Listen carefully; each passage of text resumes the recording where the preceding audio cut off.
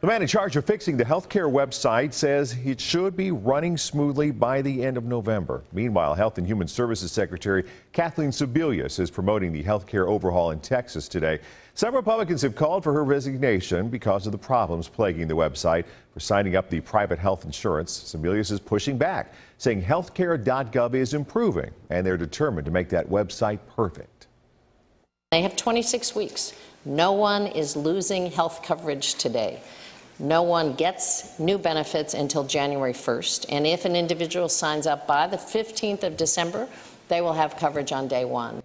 Sebelius promised to review the performance of contractors who helped build that website. And if you need help signing up for the health insurance uh, website, you can just head to kshb.com slash affordable care act.